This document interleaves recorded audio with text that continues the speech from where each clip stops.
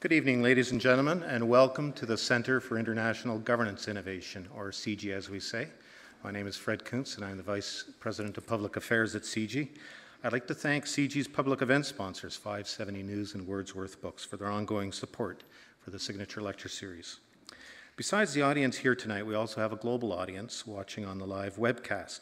And following this evening's address, we welcome questions from the audience, whether here at the CIGI Auditorium, there are microphones at the side, or from the online audience through our live chat function on your screen, and we'll transmit those questions to our guest on stage.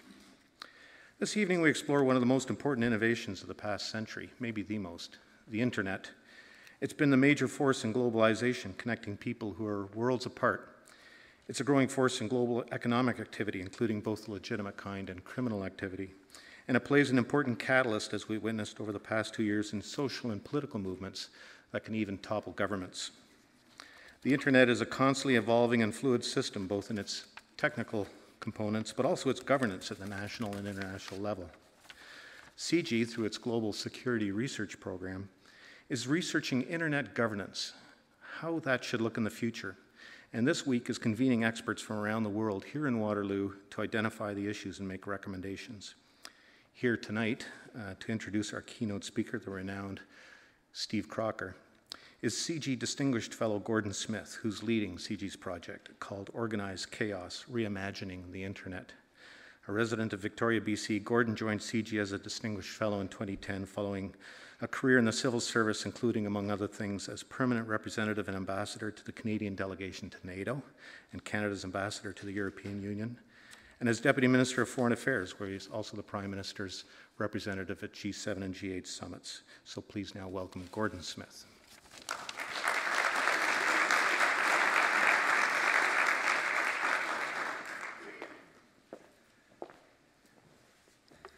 Thank you very much, Fred. Uh, I'm delighted to be here tonight. I have a tough job to introduce Steve Crocker.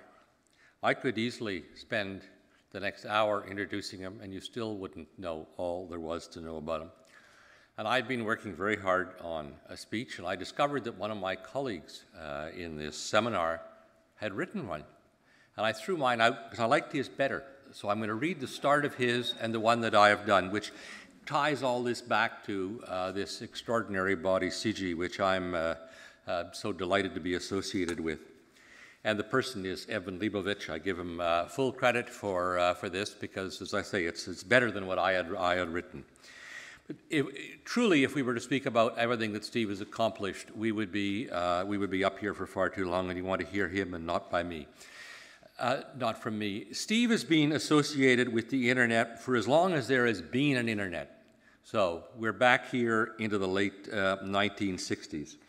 Not only has he been involved with the, he's been involved with the uh, Internet Engineering Task Force, the creation of it, and the concept of uh, RFC, re, re, uh, request for, for comments, which of course is for a process developing and sharing protocols.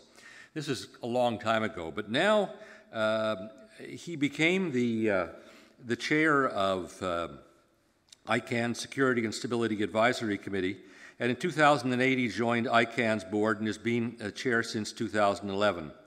And in those roles, uh, he has helped lead a reform within ICANN that, together with its new CEO, have refocused uh, commitment to multi stakeholderism, or to be more precise, in the words of the CEO, multi equal stakeholderism. He will explain all of this. Um, but this is happening at a time when, of course, and I'm sure most of you know this, ICANN is putting out a massive expansion in the domain name space, and that will have all sorts of challenges uh, to manage that. He uh, has really done just uh, an extraordinary job in being uh, connected to the internet, as I say, from its very origins, the first time computers talked we're talking to computers in the, the beginnings of a network uh, all the way through to um, his present role. He's just back from Beijing. It was really very kind of him to come uh, here. Uh, he had a lot of other things that he well could have done with his time. It's particularly fitting uh, that uh, I, I, believe that he is here because CIGI, which we all talk about fondly, is of course the Center for International Governance Innovation. And there is not a better example of internet innovative governance than multi-stakeholder process. People talk about multi-stakeholder, the multi-stakeholder process, but uh, they, uh, in many cases, don't have a very clear conception of uh, what it means. So um, I'm sure that uh, in the next uh, uh, little while, um, Steve will tell us about um, how the multi-stakeholder process now works from his perspective as chairman of ICANN. And then I hope we can spend a little bit of time thinking about where all this process is going. Uh, many of you are aware there's all sorts of pressure uh, from certain countries to have a greater degree of state control over the internet, uh, to change the role of the International Telecommunications Union with respect to the internet. Um, and in many respects, that's a very different concept than continuing the multi-stakeholder process. So there'll be lots of time afterwards uh, for those of you here in this uh, in this wonderful auditorium to ask you questions. And uh, also, of course, those of you who are online, you can post your questions and uh, he will be able to see them on the, the, screen that's just now off to my left. So I would ask you all to join with me in welcoming Steve Crocker. We're absolutely delighted to have you here this evening, Steve.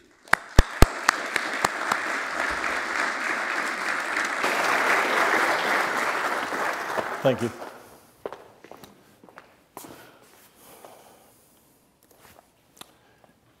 Thank you, Gordon. It, it's indeed a pleasure to be here. I actually uh, accepted the invitation to come to the um, uh, symposium that's uh, under in progress, and only later did they tell me that I'd have to uh, pay for my uh, coming by uh, delivering a lecture. And I said, all right. Um, I want to talk about mainly very positive things, but I'm going to begin this talk twice.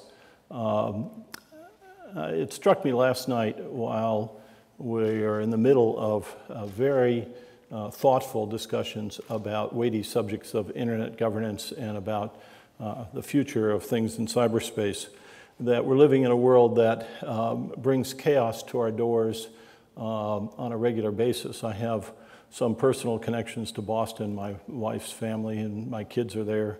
Um, and I couldn't help but see that the juxtaposition of the, uh, of the carnage that was evolving on the screen was at such uh, odds with the uh, well-intentioned um, and carefully modulated discussions that we have in our various forums about uh, uh, governing cyberspace. So um, uh, just to keep things in context, I'm going to pause for just a few seconds uh, and then I will start again.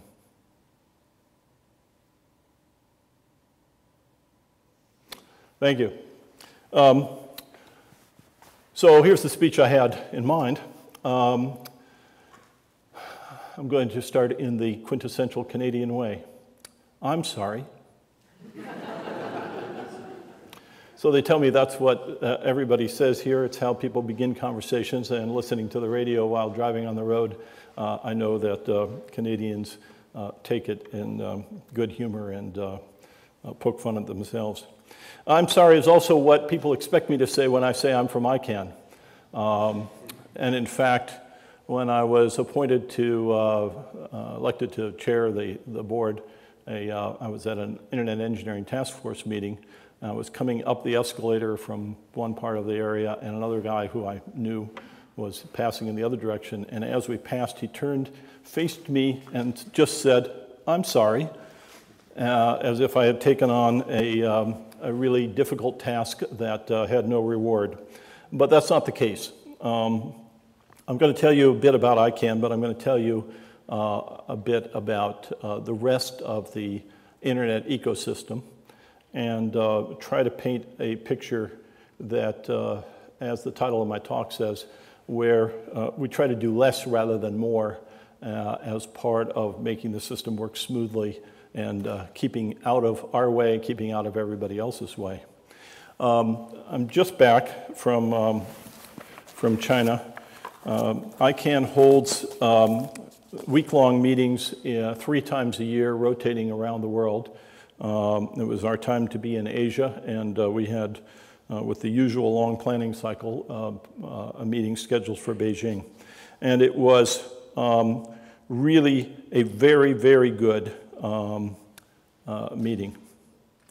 Um, there were uh, more people than usual.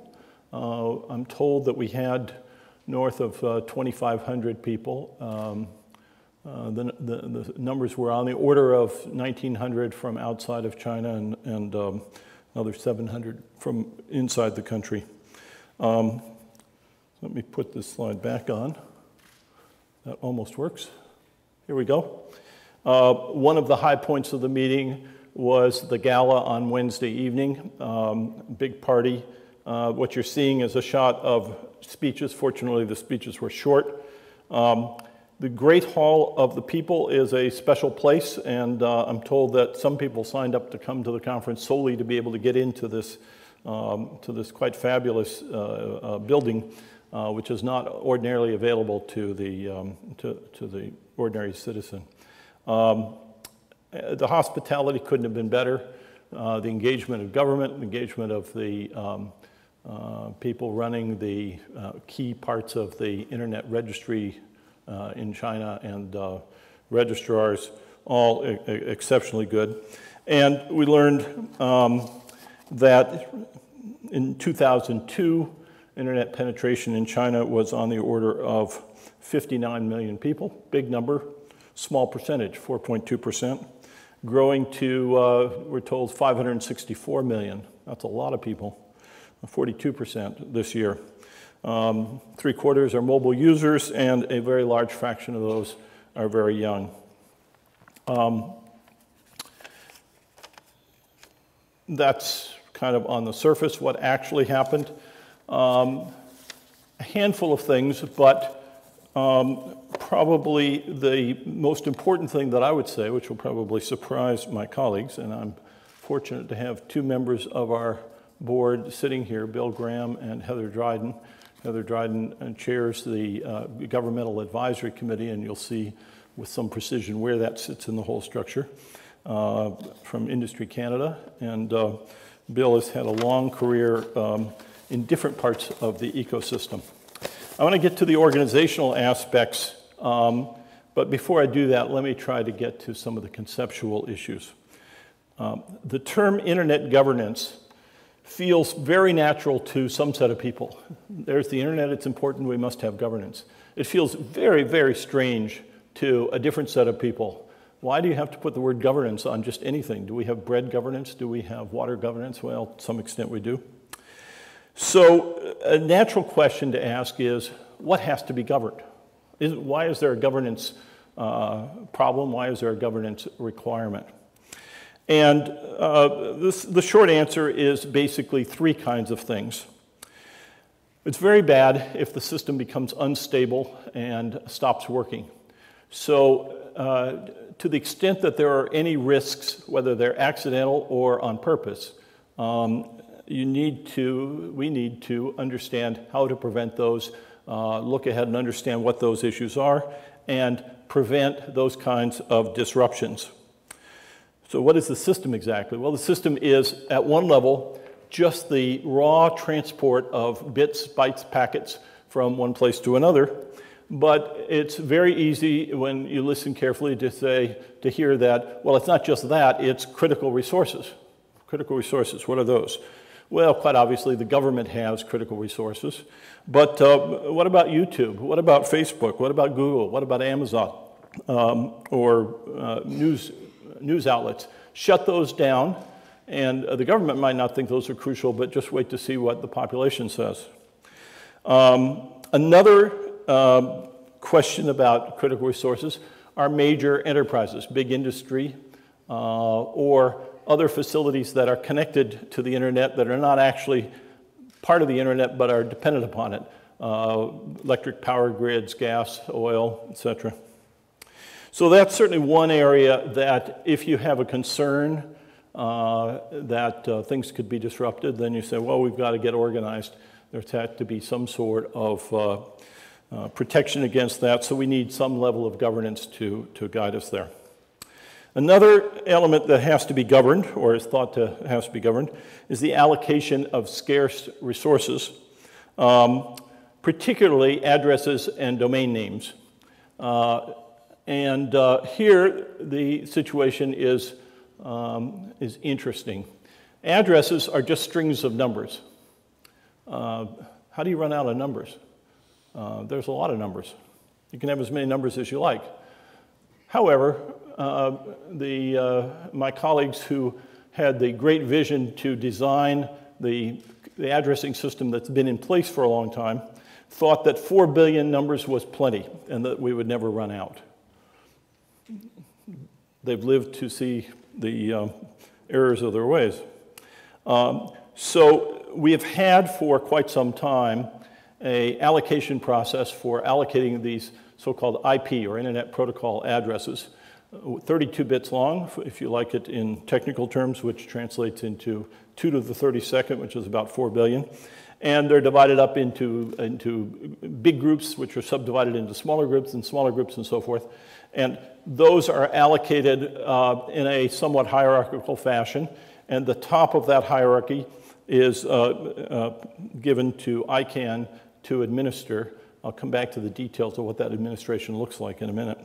Uh, and then those are allocated out to regional internet registries, which are uh, roughly one per continent. And from there, sub-allocated to ISPs and to um, other very large users, and then sub-allocated from there.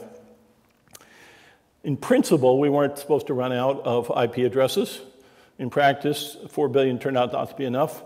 And uh, um, several years ago, we uh, looked hard at that problem and designed the next generation of IP addresses, IPv6.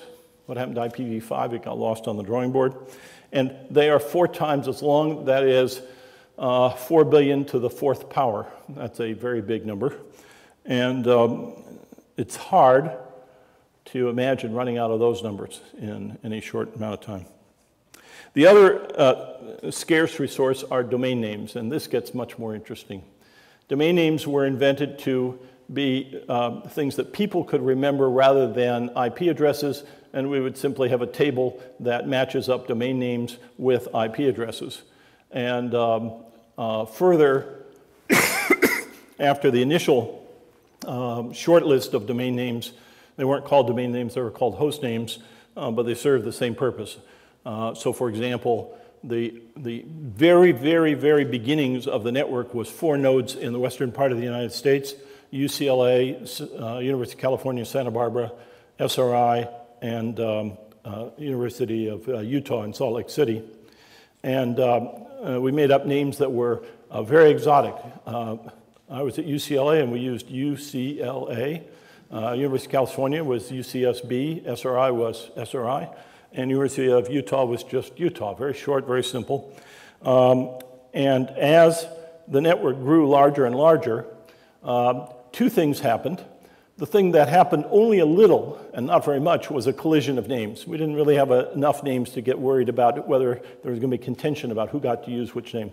But the list got longer and longer and longer and longer, and keeping it up to date and distributing it got to be a bigger and bigger headache. And so um, for, for that reason and multiple other reasons, a hierarchical system was created with a handful of major categories at the top and then uh, delegation down to the next level. Um, the original allocations, original, original clusterings were, uh, in those days, the US government was very heavily uh, active in this. So there was uh, Gov and Mil uh, as two top level domains for the civilian and the military side of the US government uh, EDU for the universities, NET for the, uh, what you now call the ISPs. I don't think they were quite called ISPs yet. Um, org for the other nonprofit research places that were part of the network, and a catch-all for the few commercial uh, organizations that happened to get in there somehow, COM. Um, time passed from the uh, late 70s, 80s, and in the early 90s, the um, uh, by now, we were not talking about one network, but we are talking about a network of networks, uh, massive expansion, not only within the US, but around the world. Uh, not only a single technology, but interconnecting networks that were built with different technologies. And um, when, it, when this whole system was opened up for broad scale use without restriction as to whether you were doing commerce or what you were doing, uh, the domain name business suddenly flowered and the .dot .com domain mushroomed and is uh, far bigger than 100 million names now from the, the earliest days. And contention over who gets what name um, clashes about two people wanting the same name, uh, clashes over whether or not uh, names um, conflict from a trademark point of view or from some other intellectual property point of view um, uh, now abound, and we have a mushrooming system. And so governance of various levels are needed in that area. And finally, the third area that I would say where uh, a need for governance has arisen is um, I'll just call suppression of socially unacceptable behavior. Everything from very lightweight um, annoyances like harsh speech to serious crimes, child pornography, identity theft, espionage, and so forth. Excuse me. Did we, did we prepare? Is there water around somewhere? Okay. So, um, out of that kind of organic process of growing the network and stumbling into one problem after another, uh, a variety of institutions uh, emerged. And the general attitude in all cases was uh, to do as little as possible rather than as much as possible, to, um, to use a very light hand, uh, lightweight systems, lightweight control. So, for example, in the technical standards area, um, the first informal meetings of the users of this uh, new network uh, got together. Uh, I was privileged to be part of that little core group. And uh, we focused first and foremost on what we wanted to talk about, what kind of protocols we were going to design, and sort of carefully didn't sit down and say, well, the first thing we need is a constitution or a set of bylaws. Um, and, uh, and only later did we have to deal with all that. Oh, it is here. Thank you.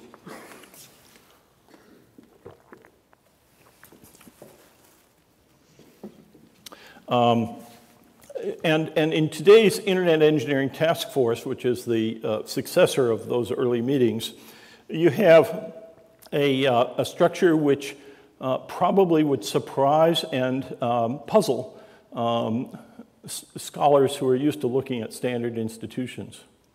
Um, let, me, let me try to describe this in um, a little bit of detail. The, um, the way things work on the internet is you have a large amount of software at each of the end systems in your laptops, in your smartphones, in your uh, desktops, and so forth. And uh, if you want to send email, then that email is put together and structured according to one set of specifications, then it's handed to a lower set of software, which then sends it according to another uh, set of specifications, which makes use of a transport system that doesn't care whether it's email or something else that's based on another uh, specification. And so for layers and layers of software, each layer very carefully specified, and each layer thoughtfully put together by teams of engineers uh, at a particular point in time, and then groomed over a period of time so it's not even uh, stable uh, or, or, frozen, I should say, probably better, um, uh, permanently. And those standards are agreed upon by uh, technical people getting together in rooms or nowadays both physically and over the net. Um, how do they come to agreement? Well, they basically have, for the most part, a common goal of getting things to work. So there may be differences of opinion, there may be uh, differences in taste. Uh, one person may say, I've got a really excellent, perfect solution to this problem and uh, the others may not agree with him. And so discussion continues for a while. Um, and, and, so you're waiting for the, the magic moment. How, how do we resolve that? Is there, is there voting? Is there, a, is there a czar? Is there somebody who makes a decision? The answer is no, none of that. Um, there is no, uh, none of the mechanisms that you're used to seeing. There's no membership, there's no enfranchisement, there's no voting. Um, there's, uh, there's very little that would match the kind of institutions that we're all used to, to living with. Um, with a certain amount of tongue in cheek, they uh, actually take the sense of the room by asking people to hum. And uh, it's an interesting little phenomenon to see every once in a while. But mostly, it's a, uh, very lightweight consensus process. Um, people who work hard and get in there and provide the ideas tend to prevail. Uh, but if they go too far away from uh, the sensibilities uh, of the others, then they get uh, ignored pretty much. Um, that's the Internet Engineering Task Force, and that's been around in various forms uh, and in its current form since about 1986, so it's been around for a good while. Um, the World Wide Web Consortium, W3C, uh, arose after the web was uh, invented and created, and there was a realization that they needed um, uh, fast evolution of that uh, new area. Uh, did not fit comfortably within the IETF, broke off and, and started a, uh, a different group with a lot of money that came from companies that wanted to build products, and it's taken off and become a, a very major force in that area. Um, still, there were other institutions that came along. Um, the, and, and, and again, uh, motivated by various kinds of forces. In 1988, uh, a graduate student at Cornell wrote a program that uh, copied itself onto various machines, took over those machines, uh, caused a little more chaos than he was intending. That was the Morris worm, and we entered the era of malware, malware across the network within an exceedingly short period of time, uh, measured in days. The um, first uh, computer emergency response team was set up at Carnegie Mellon University, and we now have certs all over the world and collections of certs and organizations of them, uh, all aimed at distributing information, collecting information, and just combating um, the uh, ongoing uh, onslaught of malware of one sort or another. Um, let me see. There we go.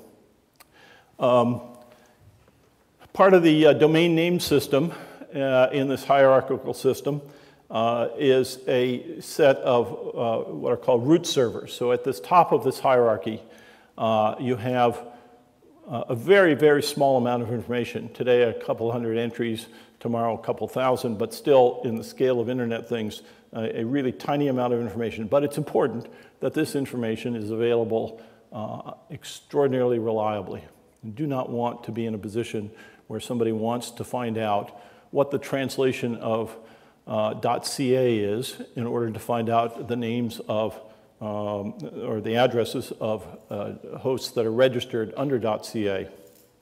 So there is a, a, small table. It could be kept uh, literally uh, on a spreadsheet or on a back, not a back of an envelope anymore, but on a couple of pages.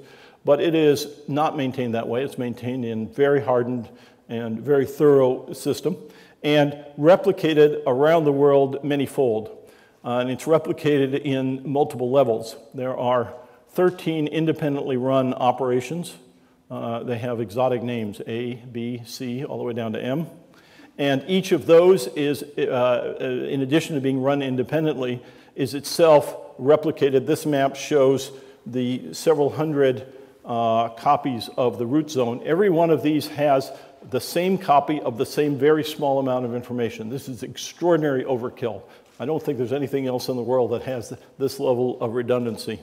Um, and um, uh, the letters are, are, these different root servers. In some cases, you'll see a digit, uh, which represents multiple um, things sitting there, just a question of what you can fit on the map. And, the, and associated with this map is a list of the current uh, locations. All of this is publicly available. Um, that's another institution, very lightweight institution.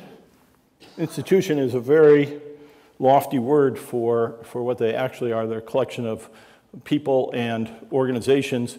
But if you, again, if you go and say, okay, so what are your rules? Who, who, who funds you? Uh, who governs you? Uh, who are you accountable to? What's your uh, uh rule for entry into the system? How do I get the next letter? What do you do if one of you uh, stops working? Um, and the answers are amazingly um, absent, astonishingly absent. If you sit in a purely political environment, uh, say in front of a government, and you ask, uh, gee, that seems a little strange, uh, what do we do if something goes wrong? Uh, you get very uncomfortable. Go out on the street and ask across the entire ecosystem of the internet who do you trust? Do you trust the IETF? Do you trust the registrars? Do you trust the registries? Do you trust the uh, major companies? Uh, the root servers will come out way on top. They are quiet, they are um, um, absolutely dedicated to one single purpose. They ask for nothing, they demand nothing, um, they cause no trouble at all, and, um, and they're happy to do that. So you have a, a, an incredible uh, dichotomy between the expectations from the um, um, sort of existing uh, biases that one might have about what you'd expect versus what the actual facts are on, on the ground. Um, in the address business, I mentioned that uh, ICANN hands out addresses, but we hand them out to these regional internet registries. Um, RIPE, ARIN, um, let me take this guy off. RIPE, ARIN, and, and APNIC, RIPE in Europe, ARIN in, the, uh, in North America, APNIC in um, uh, Asia Pacific region, pre-existed the creation of ICANN. Um, since then, uh, the Latin American Caribbean uh, Network Information Center, Montevideo, and AFRINIC um, and Mauritius have come into existence. And so the allocation process for addresses and their associated autonomous system numbers are handed out to these uh, five uh, regional internet registries and from there sub-allocated. Now, I mentioned that I was going to say something about that relationship. Um, the words I've used suggest a top-down arrangement where ICANN makes a decision about who's going to get what. In fact, it's the other way around. The regional internet registries are the ones that set the policy, and they charge uh, and depend upon ICANN to follow those uh, uh, policies and do it as a service to them rather than as a control function. And so that's a very, very key element of one of, of, of an important part of how ICANN is structured, that rather than trying to uh, uh, build policy or insist on it, uh, we are basically a clerk, uh, have a clerical function to be responsive to the community that we're serving. Um, let me go back to these slides here. So um, here's a picture. I know the details, whoops. There we go. Here's, here's a picture of this internet ecosystem. Um, this one comes from the Internet Society, and its attempt to fit in all of the different players in a, neutral and balanced way. Uh, the Internet Society. So, what's the Internet Society? The Internet Society was created 20 years ago and was intended to be and is a forum for looking at a broad range of Internet issues to encourage Internet use to uh, uh, provide information across the world. It has a, uh, a, huge chapter structure, 94 chapters, I believe. And um, uh, this week, um, yesterday, we had the induction, we had a press conference this is still Tuesday, right? So Monday, we had a press conference uh, in Toronto um, uh, announcing the formation of uh, Internet Society Canada, uh, a big event. Uh, it was just by accident that I happened to be able to go, and I was very pleased to be there. Um, the, the Internet Society is a major force in a lot of the dialogue about internet governance issues, uh, about use of internet, about uh, accessibility for, uh, for people, about crossing the digital divide and, and providing access to in developing countries, and has been a, a major leader. Um, here's an attempt from my colleagues at ICANN to cover the same ground. Uh, here's a, a, view of the internet ecosystem, um, a little more fun in a way. And uh, even more fun would be to take those two pictures and try to match up the pieces. They're all there. Uh, some of the emphasis is different, but uh, in many ways they, they cover the same thing. So let me talk a bit about ICANN. Um, the top level of the domain name system was maintained by uh, Jon Postel. Uh, in a, uh, it's one of these classic success disasters. He started doing it uh, a long time ago, uh, did it very well, uh, made it look very easy, and so as the network grew, nobody challenged it and he just kept doing it. Eventually, it got to be a pretty big deal. And um, one of the things he did is, is look for uh, pioneers in different countries and uh, handed out domain names, top level domain names in countries around the world. Um, a pretty, a pretty uh, um, aggressive and uh, uh, bold thing to do for uh, a young researcher in, uh, in a university environment uh, building what's become a global facility. Um, and he and colleagues in the rest of the community scribbled down pretty lightweight rules for um, what a good top level domain operation should look like. And it, it had uh, technical things in it, like you ought to have name servers in more than one place so that if one of them breaks temporarily, you still have service. And it had some slightly political things that the governance of that operation ought to have the support from the local community. Exactly what does that mean? How do you administer it? Left carefully undefined. Um, relationship with the local government. It ought to have the key people subject to the laws of the local country so that you don't have absentee landlords or colonialism, but the details not further specified. There came a point when this became uh, quite unacceptable. Um, the um, senior levels of the US government uh, in the White House uh, said, we have to change this. A series of papers were written, meetings were held, many people brought together and out of that chaos, um, ICANN was formed. 1998, uh, Postel was scheduled to become the chief technology officer and sort of founding member of that, and he passed away almost exactly at the same moment that ICANN was formed. Uh, I think ICANN was formed in November, and he passed away in mid-October. Um, and it performs, ICANN performs two major functions. It performs the IANA function, that is the uh, Internet um, uh, uh, uh Assigned Numbers Authority was a kind of tongue-in-cheek term that uh, Jon adopted for what he was doing. And it coordinates the unique identifiers of the internet, the addresses that I talked about, the domain, the top level of the domain, and a service to the IETF which is very uh, much less well understood and appreciated, but uh, part of the IETF's process in publishing protocols is there's an associated set of tables of parameters, which is a fairly extensive uh, body of uh, information, uh, but super technical. And that's published and made available free of charge around the world to everybody. And that's done through this IANA function. The other thing that emerged out of all of this was the, uh, in the rise of this domain name system, and its importance. Um, the uh, uh, ICANN uh, inherited an obligation or the privilege or the responsibility, depending on how you want to look at it, to um, oversee and coordinate the, this top level of the domain name system. But the domain name system is really divided into two big halves. Uh, the country code top level domains, um, like .ca in Canada and .ke in Kenya and so forth, uh, are not under the coordination function of ICANN. They are all independent, and to the extent that there's any kind of governance, it goes up through the local government, governments. The other side are the, what we have called the generic top-level domains. .com, .org, .net um, are the most common ones, but .info, .museum, uh, .jobs, dot .travel, uh, a series of others.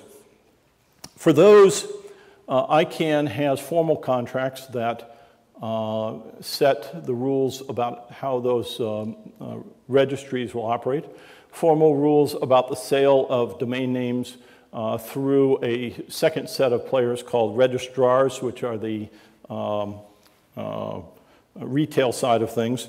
And it has uh, contracts with both the registries and the registrars. And not incidentally, uh, some money flows into ICANN's coffers from those relationships. So every time you register an name under .com, .org, thank you. Um, .ca, not so much, but that's okay. They run a first-class operation. We're happy for them. Um, and that's the extent of what ICANN does. It does not control the routing on the internet. allocating addresses to uh, other organizations, which then suballocate them, is not the same as controlling who can talk to whom or what paths things take. ICANN has absolutely nothing to do with the content of what's, uh, what information is made available uh, or who can have access to it.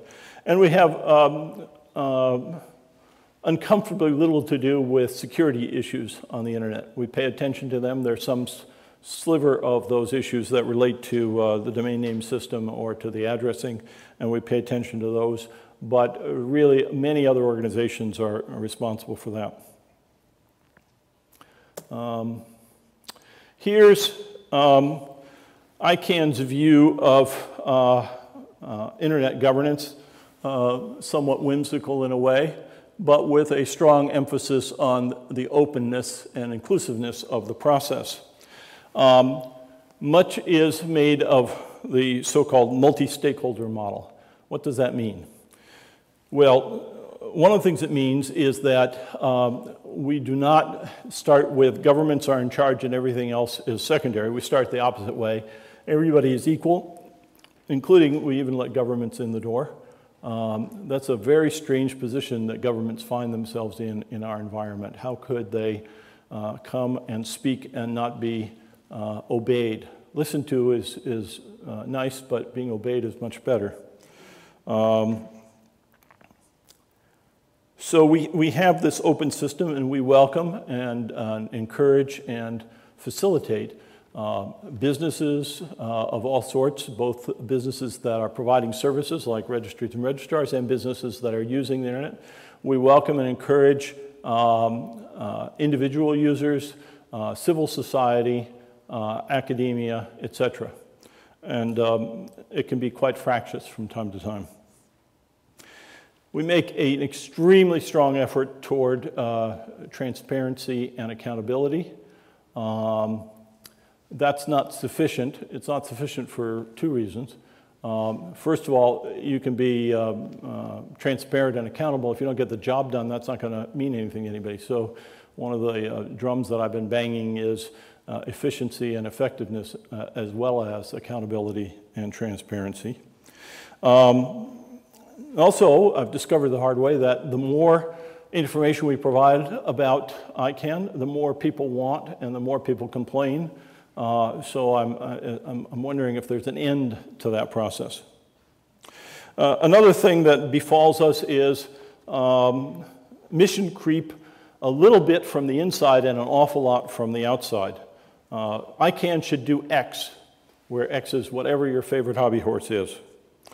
So one of the uh, consequences, whether it's intended or not, is that ICANN finds itself out of the whole soup of the ecosystem, um, emerging to get uh, considerably more attention uh, than we might like, considerably more attention than our colleagues in the rest of the ecosystem might like sometimes. And um, we're working our way through that. Another small detail is that um, we've opened up the uh, top level domain system after years and years of debate and decisions so that instead of roughly 30 uh, generic top level domains, we've said, and some early experiments about trying to do things in a controlled fashion and discovering the limitations of that, that uh, would open the doors and take applications for uh, essentially any domain name, any top level domain name you like for any purpose, with some exceptions. And the exceptions cause a lot of work. Um, um, and we would look at the applicants uh, from several different dimensions. Are they financially capable? Do they have criminal backgrounds? Um, and are they going to do something that would be uh, antithetical to the um, good sense of the community.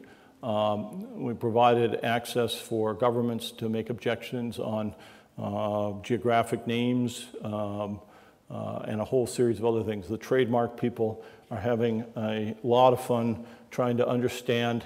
Uh, trademarks are built with two main divisions, geographic and uh, subject matter.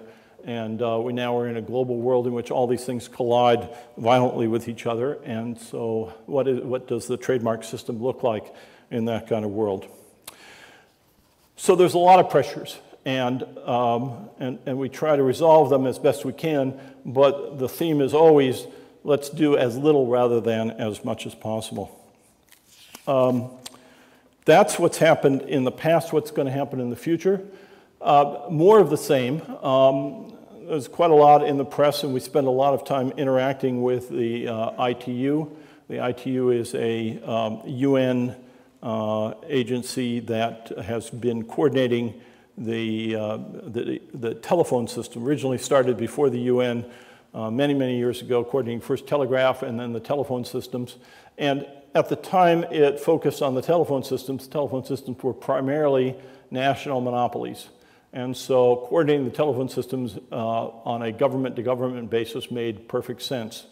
Um, the internet has changed that world substantially. Uh, we now make uh, long distance, uh, we now have, I was going to say we make long distance calls. We have long distance conversations. Calling them calls is, is maybe uh, uh, not exactly right. And at prices, uh, cost to us that are an infinitesimal fraction of what they used to cost. Instead of dollars per minute, they're now cents per minute, perhaps, or free if the conversation is entirely over the internet. That has major uh, consequences, obviously for the phone companies involved, but not incidentally for the governments that have taken a lot of revenue uh, as part, uh, through taxes on that system. And so uh, that's uh, very uncomfortable, particularly for many small governments. Um, and so the game is on. How do you, how do you reconcile all that? Of course, in the background is the enormous increase in the gross domestic product of many companies, many, many countries, as their uh, uh, whole economy has responded to availability of the internet. So um, the key questions are, uh, as I said, what has to be governed? What is the lightest weight to accomplish that? How do we cooperate with our um, uh, sibling organizations? Uh, how do we best serve the community? And, uh, and the, probably the hardest job of all, how do we explain that in uh, forums up and down and all around the world? Um, let me close and open for questions with a, small pitch. Oh, nope, sorry, one whole section here. Um, this is a uh, org chart, to the extent that we have one, of what ICANN looks like. So there's a board of directors um, positioned in the classic way on top. I think it ought to be on the bottom. Certainly feels that way to me. Uh, over on the left, in red, we have the president, CEO, uh, Fadi Chehadé, and a staff of, uh, those numbers are probably stale, we've grown a bit. ICANN was formed in um, Los Angeles, in Marina Del Rey, uh, has grown considerably, and is now in the process of splitting up its headquarters to work across uh, three portions of the globe. Uh, we will shortly have uh, substantial offices in Istanbul and in Sydney with uh, uh, top level executives, the ones who report to the CEO, distributed across those uh, regions. And, um, and the president has committed to spending time in a rotating way. we are sending large bouquets to his wife. who's a, who's, a, spectacular woman and has agreed to accompany him. Um, and engagement offices in different places around the world, uh, Brussels, um, uh, Montevideo, and we just announced one in Beijing, and there will be others.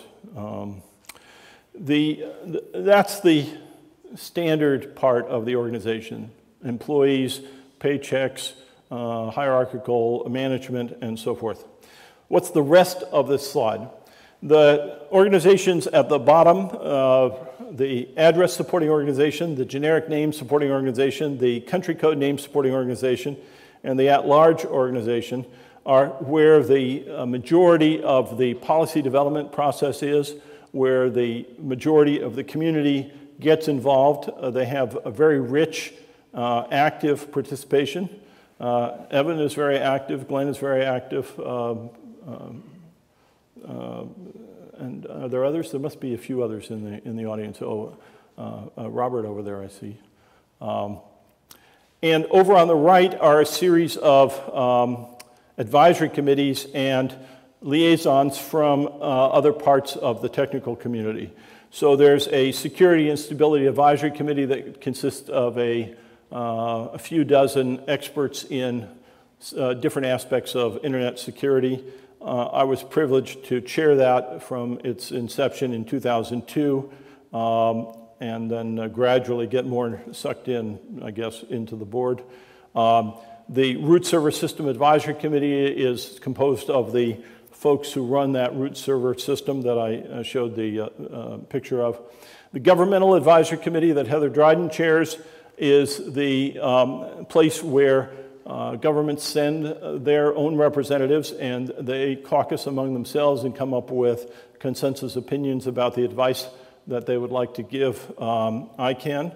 Um, when they give advice, there's um, two possibilities. One is we either say, oh, that's great, we'll do exactly what you say. That's a very comfortable position. Or we say, hmm, we're going to talk about this. We don't get to say no, but we do get to say we'll talk about it. And um, after we talk about it, we say, hmm, we're still not happy.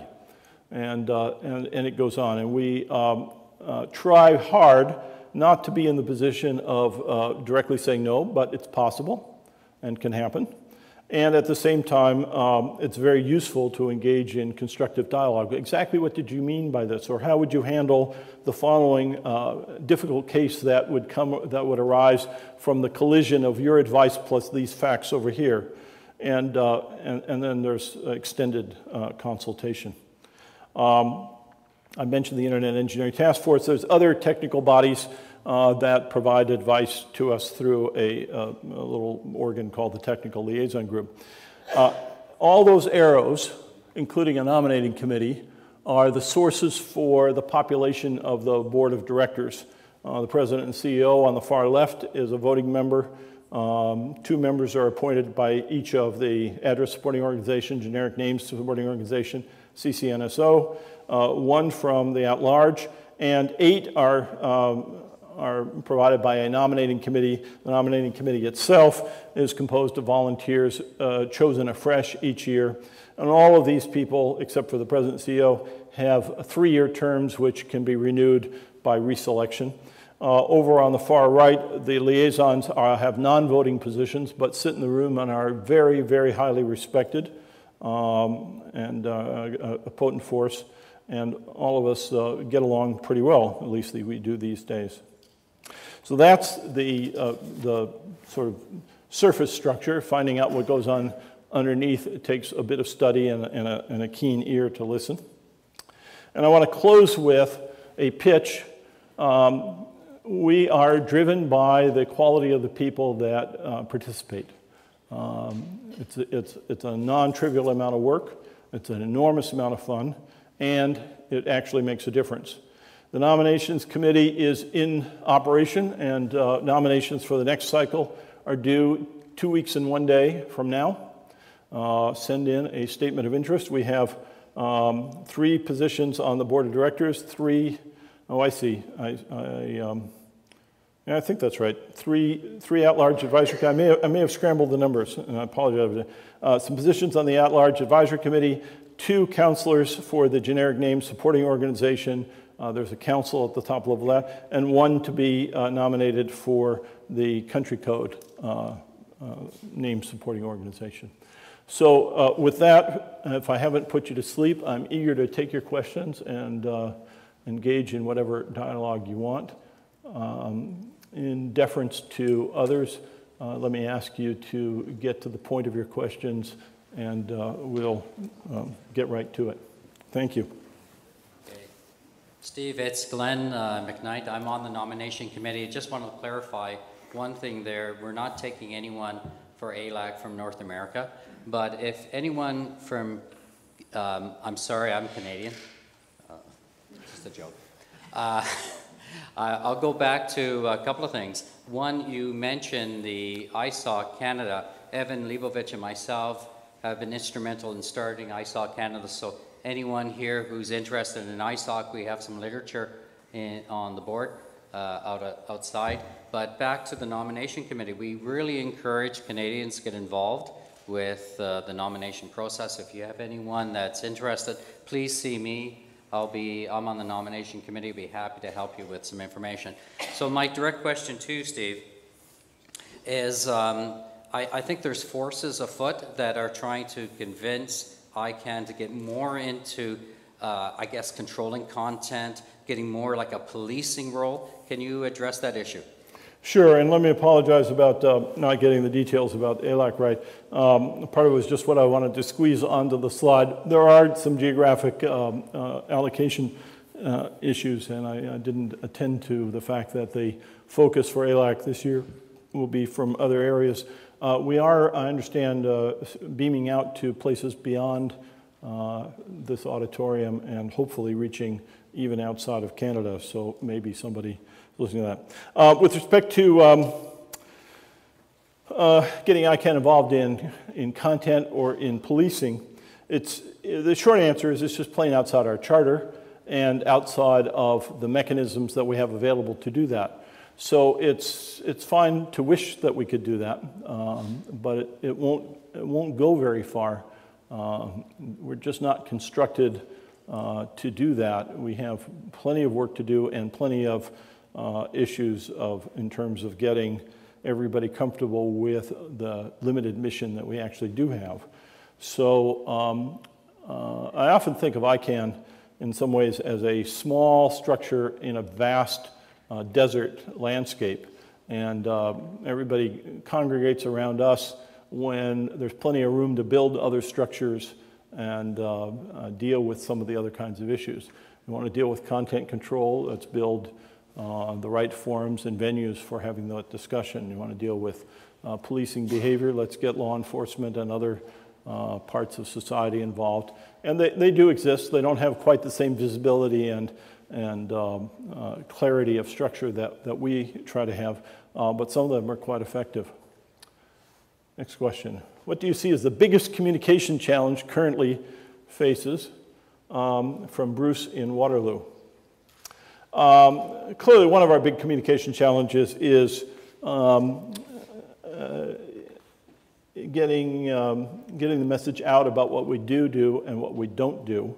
Um, and closely related to that is uh, the comfort that we would hope that uh, everybody, governments around the world, but also uh, industry, civil society, and so forth, uh, um, having, having a high degree of comfort uh, about our role so that um, uh, over time the attention moves on to some other activity.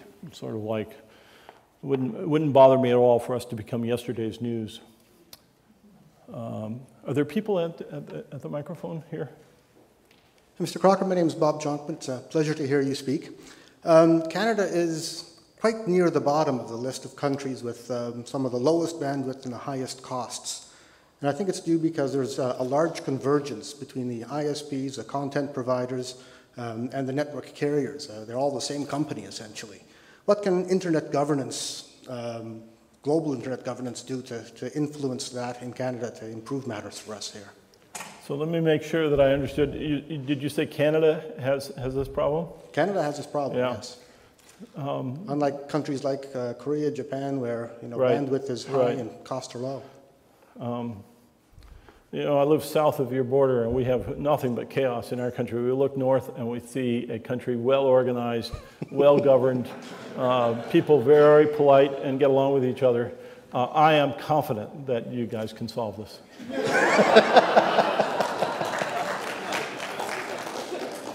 Uh, another question here I see on the screen. Do you foresee other channels for public representation on the board of directors?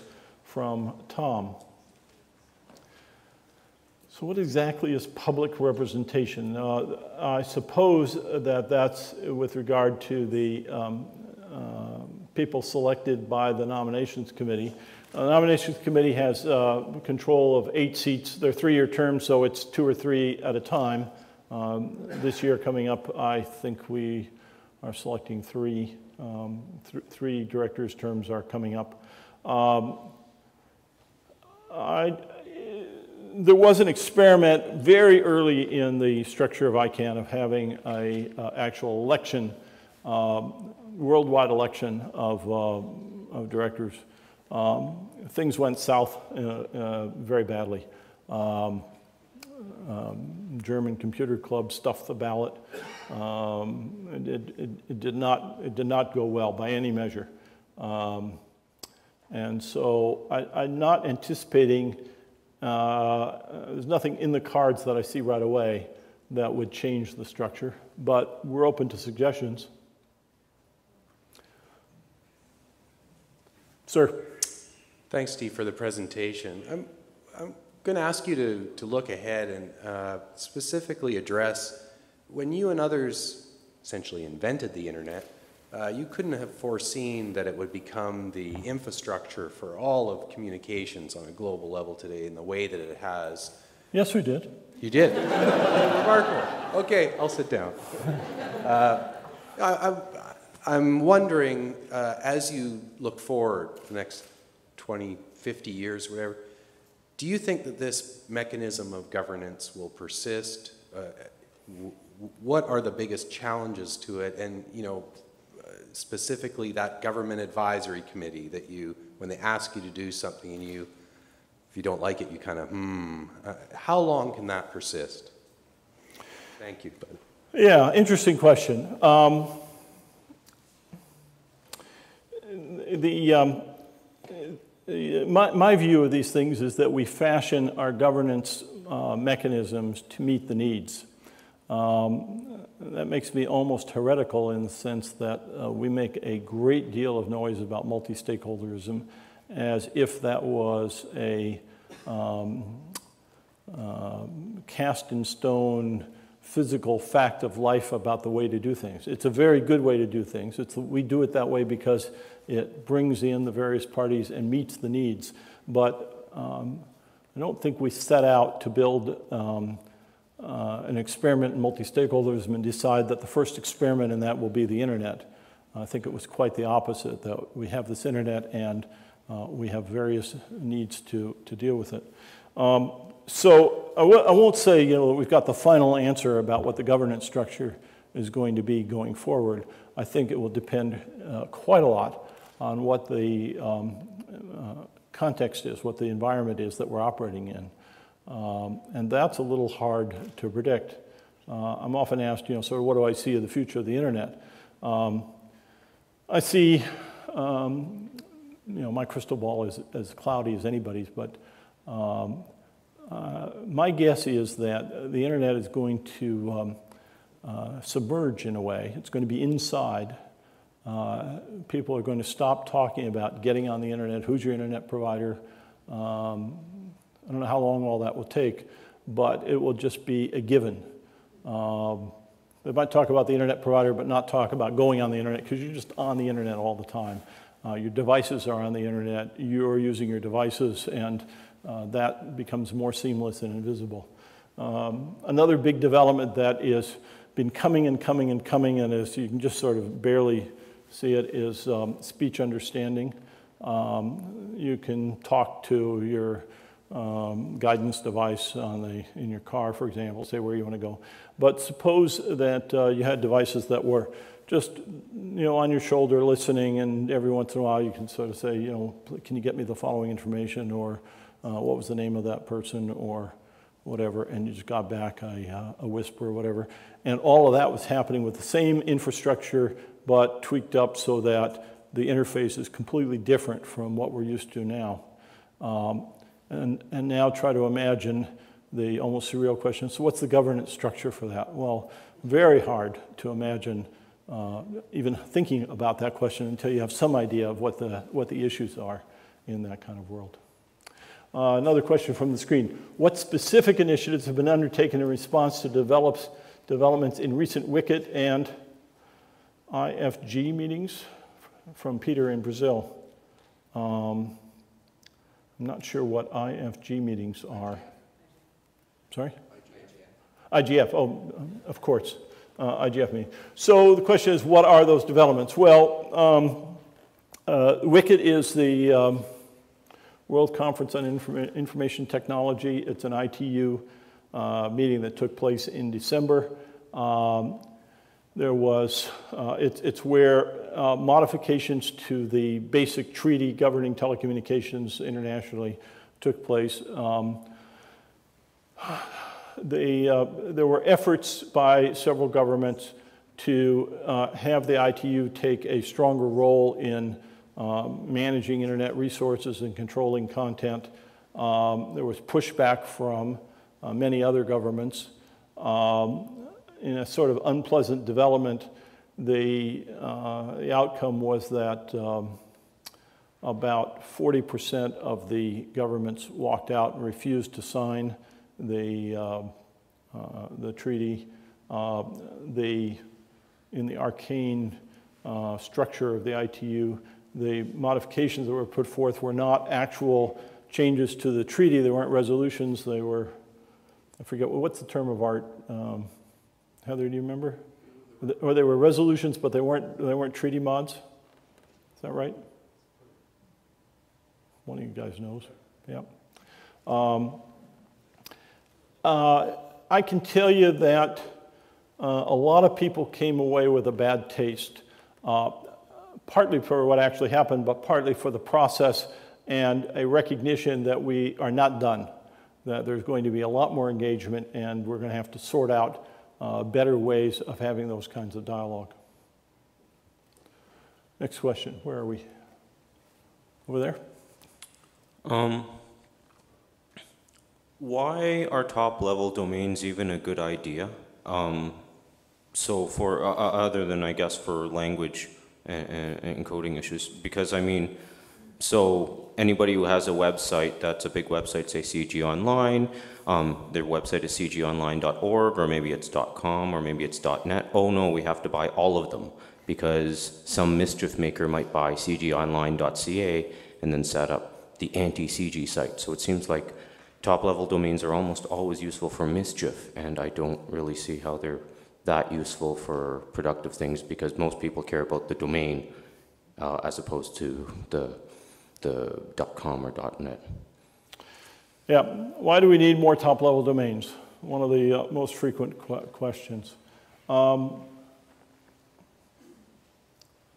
the, um, it, it's a difficult question because the, um, it, it's rooted in principles the, without a lot of data. Um, the whole tradition of the internet is that we don't close it up. We carefully designed the protocols uh, to be open and extensible rather than a fixed set. Uh, we designed those protocols so that you could build on them, you could go around them, you could use layers and put things in between and so forth.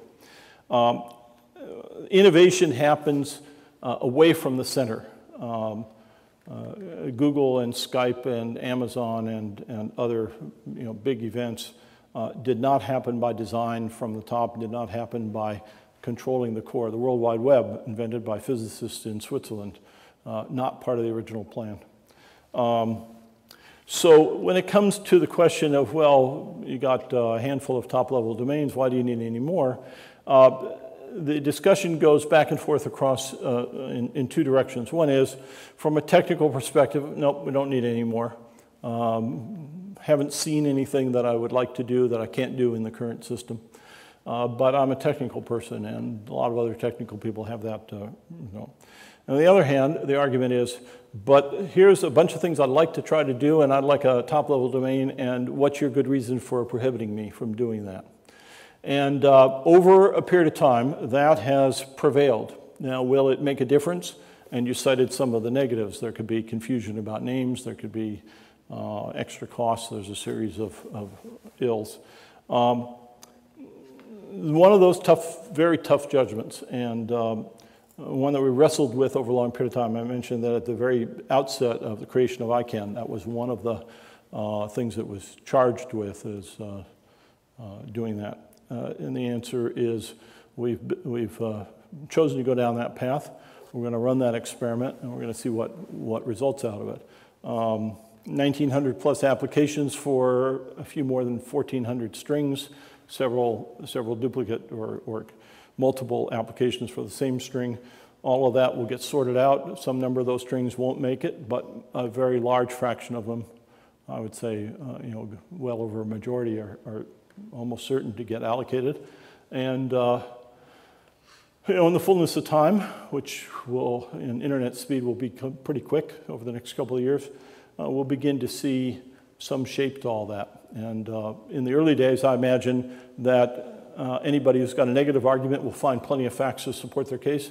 And uh, the people who have been pushing on the positive side will say, well, look, this is a good thing and this is a good thing. So um, it'll probably take a few more years before we have a, a, a settled uh, consensus on what's actually happened. Uh, I suspect that's not the most satisfying answer you could hope for. Uh, Well, are there any steps that are being taken in the application process to sort of prevent, um, well, at least the confusion issue? So I guess you can't prevent necessarily the having to buy a bunch of domain names issue if you have a bunch of domains, but to buy, to at least uh, avoid the outwardly fraudulent things of making things that look very much like .com, for example, just because they use a different character encoding?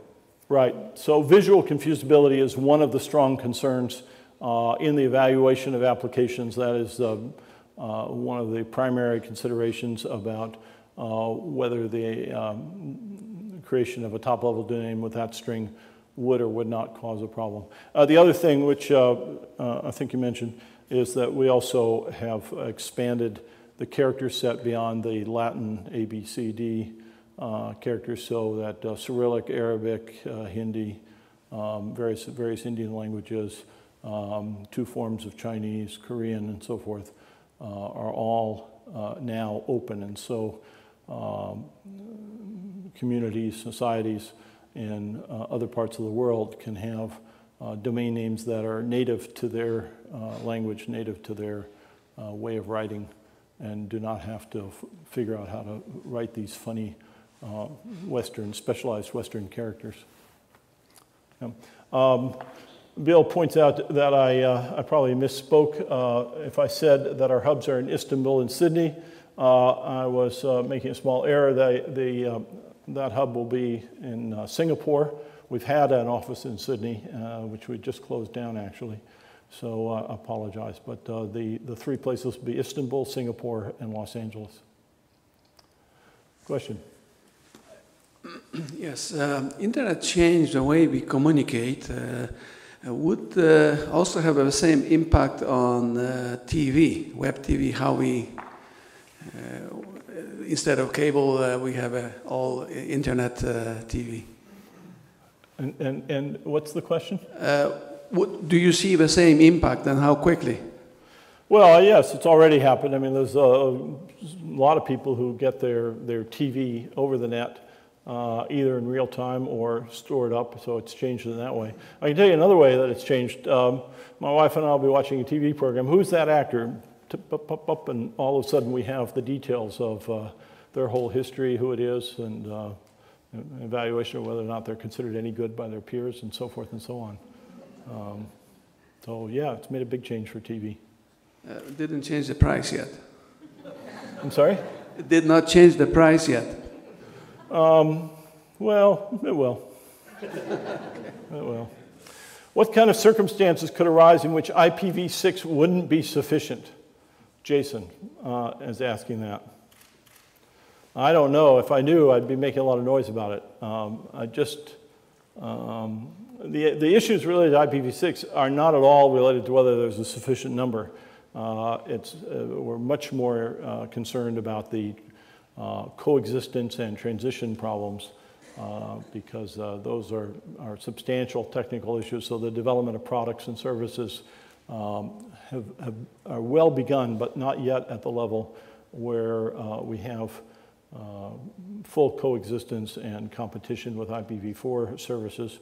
Uh, that will come over the next few years, but we're not quite there yet. Sir? You had a lot of nice things to say about uh, DNS, the domain name system, earlier. It's well trusted, it's um, highly redundant, yet it seems particularly fragile because of its hierarchical nature. Uh, do you have any ideas on um, a peer to peer DNS system where Huh. it's far more distributed than it is today? Yeah. So uh, let me just play it back for, for everybody. Um, the question goes to, is, is about the potential fragility of the domain name system uh, because it's hierarchical. And to translate that, the, it isn't the leaves, it isn't the, the, the body of the tree that's at issue, really, it's the, it's the root. It's the single point at the top, which, when you draw it like that, looks like it's a, uh, a single point of failure. Um, and then the, the rest of your question had to do with an alternate way to provide a name service using a peer-to-peer system. So we're into a um, uh, partly operational question and partly a very technical question. Let me deal with the two parts. Uh, one of the reasons why I put up those 13 root servers is exactly because um, the root is considered to be a, an essential uh, part of the system. So there are uh, you know, approximately two ways to extricate yourself from a design that might be fragile. One is you can do some other design, which is what you're alluding to, and I'll come back to that in a minute. And the other is you can just make that part very, very strong. So if you have a bearing wall uh, or uh, in, a, in, a, house, uh, instead of using a two by four, you might use a six by six, uh, or you might uh, uh, replicate that, but do um, as opposed to a design in which there's no load of any magnitude in any central place. Um, and that's what's been done with the, with the root server system. It's evolved over the years uh, to have uh, capacity, excess capacity, uh, well beyond anything that you might imagine, uh, to have distribution, to have diversity of software, diversity of administration, uh, just to be uh, as uh, rock solid as you could hope for. Um, there have been designs for other ways to, to supply name service. You have so-called peer-to-peer systems. Um, we've looked at that. Um, uh, they're interesting. They're attractive in some ways. Um, they are. They have their own fragility. Um, I'm not expert enough to get into a full-scale discussion, and this, this surely is not the right place to, to dig it all out, but I can tell you that um, however attractive it looks on the surface, when you dig down into the details, there's a long way to go before you could build a system that is operationally as strong uh, as the system that we currently have in place. So it's, it's not a fresh question. It's been asked and answered. One of the points of fragility is that uh, certain governments would like to interfere with uh, name resolution to protect their own governmental interests. Yep. And it seems that a hierarchical system is, is particularly amenable to that kind of disruption. Well, uh, it's a whole other lecture on where the points of access and control are. Uh, you have authoritative name servers and you have uh, recursive resolvers. Um, if a government's going to try to control access through the recursive resolvers, it's got a big, a big challenge because you can have a recursive resolver on your iPhone or, I'm sorry, I shouldn't say that word here, on your uh, laptop. Um, or, or, you know, it's, it's a small thing, it can be in any device, uh, as well as being an ISP. So if you're going to try to control the authoritative name servers, well, within a country, then um, the authority of the country might come to bear on how the authoritative name servers work. Um, but that would be the end of it. It could go elsewhere. So it's easy to imagine a, a government saying, we will control the names that are inside of our country codes. You know, so you have country code XY, uh, and, and the, and, the, government of XY says, here's, we have to insist on taking these names out or prohibiting access to it. That's a local issue from, from the perspective of the rest of the world. Um, and um, um, not, most governments don't do that, some do. But in general, that's a relatively small problem and not one that is uh, an active threat across the whole system. Have we done it? Great. So now I, thank you. Thank you.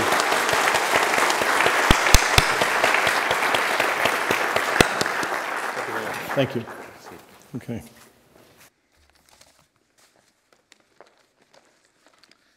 Uh, thank you so much, Steve, uh, for that, uh, for the exceptional, exceptional uh, presentation. Uh, I must say you uh, demystified internet governance for us very professionally and ably.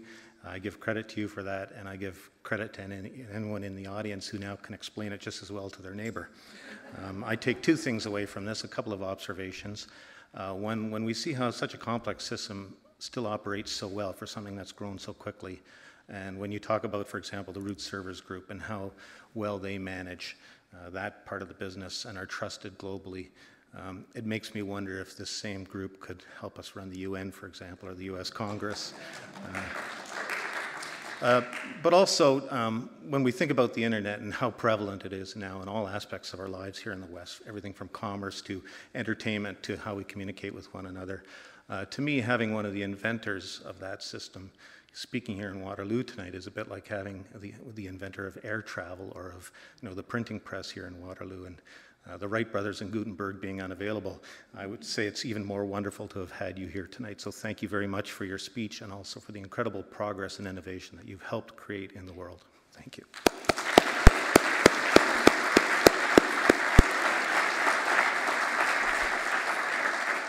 Uh, thanks also to uh, CIGI's Gordon Smith and Mark Raymond for helping to make tonight possible.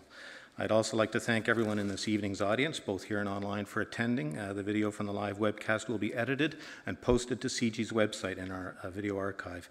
If you're interested in discussing this event, please visit our CIGI blogs page. In a couple of days, you'll see a post on tonight's lecture and can comment there. Our next events in the CIGI Auditorium take place on April 24th, when Isabel Ortiz will present a social protection floor for an inclusive recovery. This is all about rising inequalities and the idea of social protection policies for the global economy. Ms. Ortiz is based at Columbia University following a distinguished career with UNICEF, the Asian Development Bank, and the UN Department of Economic and Social Affairs. And then on May 9th, CIGI Senior Fellow Barry Carin and his uh, colleagues will be in a panel um, discussing the future of the Millennium Development Goals uh, and their suggestions for what the UN's new goals should be uh, beyond 2015. Both events begin at 7 p.m. here in the CIGI Auditorium. So be sure to register for our events newsletter for information on all of our events. And finally, thank you again to our sponsors, 570 News and Wordsworth Books. Thank you for coming. Safe journey home.